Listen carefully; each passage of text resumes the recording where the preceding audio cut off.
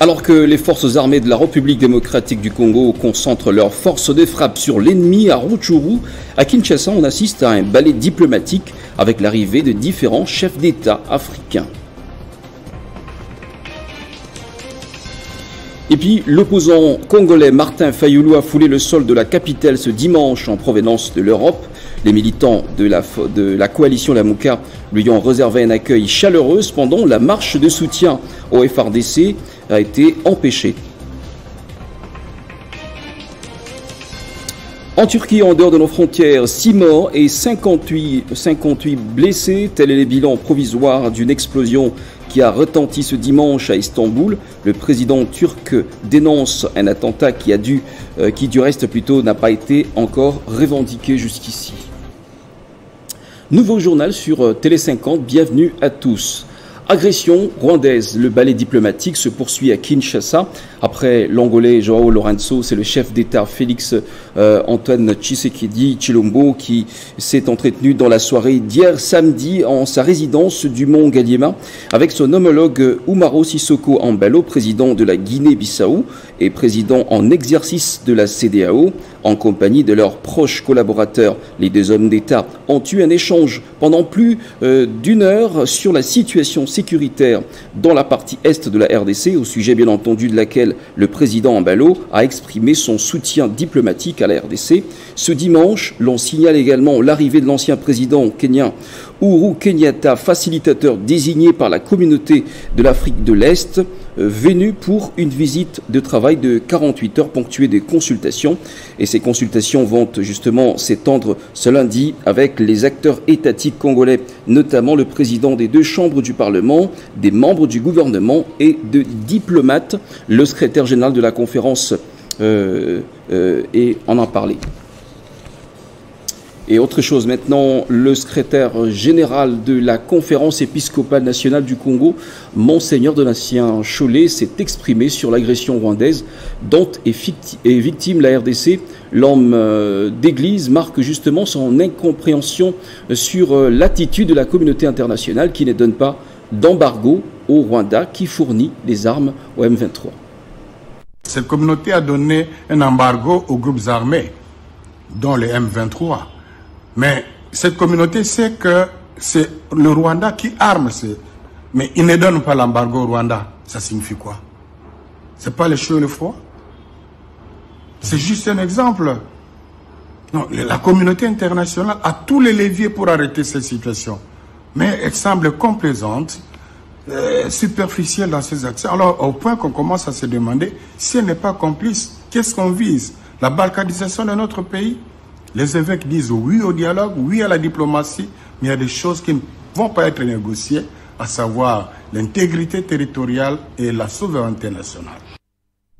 Mobilisation pour soutenir les efforts de l'armée engagée dans la défense de la patrie dans la partie est du pays. Les veuves militaires du camp euh, Bumba de Kinshasa ont reçu des sacs de maïs issus de la ferme militaire Mabala et c'est le vice-ministre de la Défense Séraphine euh, Kilubu euh, Kutuna qui a justement remis cette aide à laquelle c'est justement ajouté des machines à coudre. Après sa marche organisée samedi 5 novembre avec la population, cette fois-ci c'est avec les veuves militaires du Kambumba que Séraphine Kilubu Kutuna, vice-ministre de la Défense, s'est réunie pour témoigner soutien, attachement au président de la République et au FRDC et en même temps protester contre l'agression rwandaise qui s'est perpétrée au cours des années, causait beaucoup de victimes et doit impérativement prendre fin. Ces femmes ont saisi cette occasion pour remercier le président de la République, chef de l'État, et son gouvernement pour avoir augmenté significativement leurs salaires, ce qui leur permet aujourd'hui, tant soit peu, de répondre à leurs besoins primaires et nouer les débuts du mois.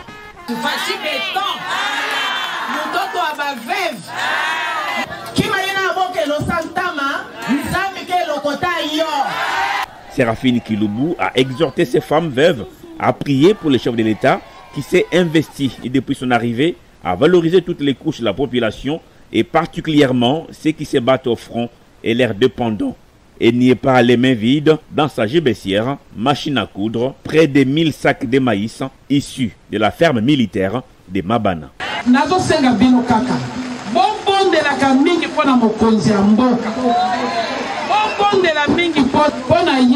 Aucun périmètre du territoire congolais ne sera cédé aux étrangers. C'est la ferme détermination de toutes les couches de la population congolaise Nous l'avons dit au sommaire, Martin Fayoulou Madidi est de retour sur la ville, province de Kinshasa, après avoir effectué une tournée politique en Europe. Son accueil devrait être couplé à la marche de soutien aux forces armées de la République démocratique du Congo. Cependant, la police congolaise s'est opposée à cette activité qui, selon elle, n'avait pas bénéficié de l'aval des autorités de la ville. La coalition Lamouka fustige par ailleurs le traitement subi par la police. Et on écoute à ce propos Prince Epengue, communicateur de cette plateforme. La coalition Lamouka condamne la répression, la barbarie policière contre ces militantes et militants. Ils ont même amené les réservistes de la police parce que tous les dispositifs policiers étaient déployés à l'aéroport d'Endjili, le long du boulevard Lumumba, jusqu'à Sipalou pour réprimer. Il y a plusieurs dizaines de blessés. Il y a un blessé, un militant de la Mouka qui est entre la vie et la mort en ce moment dans, dans un hôpital de Kinshasa. Plusieurs autres blessés, plusieurs arrestations arbitraires, plusieurs passages à tabac. Nous nous posons la question, quel est le crime que les militantes et militants de la Mouka ont commis. Parce qu'ils se sont rendus à l'aéroport accueillir le président Martin Fayoulou, parce qu'ils ont voulu marcher, ils ont marché plutôt contre l'agression du Congo par les Rwandais, ils ont marché contre Paul Kagame. Donc Félix Tshisekedi est associé de ces rapports avec son frère Kagame, arrive jusqu'à empêcher les Congolais de manifester contre l'agression dont le Congo est victime nous déplorons cette attitude. On se pose la question de savoir si nous sommes dans une jungle. Nous exigeons la libération immédiate et sans condition. Nous saluons également la bravoure, la détermination de notre peuple qui a bravé la peur, qui a envahi l'aéroport d'Engili, qui a manifesté courageusement, qui a non seulement accueilli le président Martin Fayoulou, mais dit non à l'agression de notre pays par le Rwanda. Autre actualité pendant ce temps, la Ligue des jeunes du Parti du peuple pour la reconstruction et la démocratie au Katanga s'est mobilisée derrière Kassongo Kibale pour demander le retour du président honoraire et sénateur à vie au pouvoir. La Ligue des jeunes appelle toutes les structures à la vigilance pour les enjeux euh, électoraux sont venus de partout pour répondre à l'appel du président provincial de la Ligue des jeunes du Haut-Katanga, Delphin Kassongo Kibale. Différentes structures de jeunes du parti cher à Joseph Kabila Kabangé se sont réunis au siège provincial du Haut-Katanga, ville de Lubumbashi, déterminés à signer le retour du président honoré Joseph Kabila Kabangé au pouvoir, en présence du secrétaire exécutif du Haut-Katanga, le fédéral Jules Mpanga, soucieuse de revoir le président honoraire à la tête du pays, la Ligue des jeunes a répondu massivement à cette cérémonie d'installation des responsables des branches des jeunes du PPRD, ville de Lubumbashi. Prenant la parole, le président provincial de la Ligue des jeunes, Delphin Kassongo, a centré son message sur la ligne de conduite à suivre pour le nouveau cadre.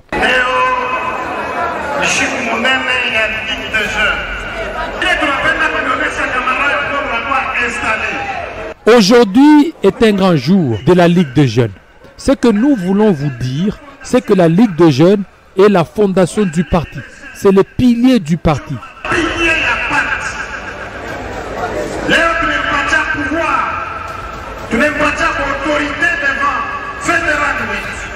Nous vous léguons ce pouvoir devant le fédéral pour vous dire de ne pas avoir peur. Personne n'a les monopoles de la violence ici au Katanga. Après, ça n'est suivi les remerciements du fédéral du Haut-Katanga à tous les membres de la Ligue des jeunes qui ont répondu à l'appel.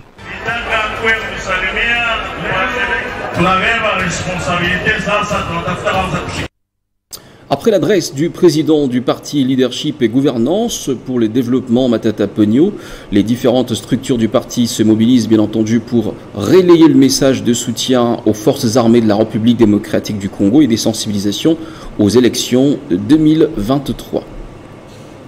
Autre chose pendant ce temps, la fondation Mazing, avec à sa tête son président national Serge Mazing, a organisé une journée d'assainissement des artères euh, du centre-ville de Lubumbashi. Nous sommes dans la province du Haut-Katanga, euh, qui sont justement les avenues Kasavubu et Mobutu. L'objectif était justement d'inculquer la mentalité de garder la ville propre dans les chefs de la jeunesse congolaise, plus précisément celle qui habite la ville de Lubumbashi. L'émergence de la jeunesse, c'est aussi lutter contre les antivaleurs, un cheval de bataille de la Fondation Mazang. C'est dans cette optique que cette fondation de Serge Mazang a organisé une journée d'assainissement ici, dans la ville de Lubumbashi. Qu'on appuie au fait le gouvernement provincial, la mairie, ainsi que le gouvernement national dans sa vision en fait. Une activité à laquelle plus de 100 jeunes ont pris part. Une occasion pour la Fondation Mazang d'inculquer des valeurs, des propriétés dans la mentalité de la jeunesse congolaise, particulièrement louchoise. Cette activité d'assainissement de la Fondation Mazang a ciblé des grands artères de la ville de Lubumbashi. C'est notamment les avenues Kasavubu et Mobutu. Bêche à la main, balai, brouette, sac à poubelle et autres, voilà les matériels qui ont permis à ces jeunes déterminés de rendre ces deux artères salubres. On s'inscrit vraiment dans la ville propre et on s'inscrit dans cette jeunesse active au fait. Nous nous réunissons pas parce que nous souhaitons au fait que quelqu'un vienne au fait appuyer nos actions, mais nous souhaitons nous-mêmes commencer par appuyer nos actions et donc ne soyez pas étonnés que demain on vous appelle encore parce que nous allons voir par exemple les orphelins ainsi que tous les autres une activité réussie pour les organisateurs et une grande satisfaction pour Yves Yabwana, ambassadeur principal de la Fondation Mazang. Une réussite confirmée par une participante satisfaite et qui encourage d'autres jeunes à rejoindre la Fondation Mazang. La prochaine activité pour la Fondation Mazang est donc prévue pour le mois de décembre prochain. En dehors de nos frontières, le drame s'est joué ce dimanche 13 novembre dans le quartier très fréquenté de euh, Taskim, dans la capitale turque. Une explosion a donc retenti dans, une des rues euh, piétonnes très fréquentées du quartier euh, précité dans le centre d'Istanbul, faisant justement 6 morts et 58 blessés selon Recep Tayyip Erdogan, le président turc qui, lors d'une conférence de presse, a dénoncé un vil attentat qui du reste n'a pas encore été revendiqué. Fin de ce journal, voici le rappel du titre.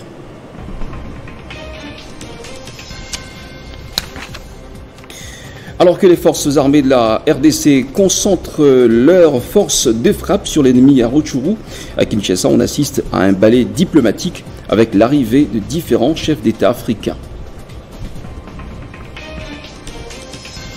Et puis l'opposant congolais Martin Fayoulou a foulé le sol de la capitale Kinshasa ce dimanche en provenance de l'Europe. Les militants de la coalition Lamouka lui ont réservé un accueil chaleureux. Cependant, la marche de soutien au FRDC a été empêchée. Je le disais tantôt, en Turquie, 6 morts et 58 blessés. Tel est le bilan provisoire d'une explosion qui a retenti ce dimanche à Istanbul. Le président turc dénonce un attentat qui, du reste, n'a pas encore été revendiqué. Restez avec nous sur Télé 50, le programme se poursuit.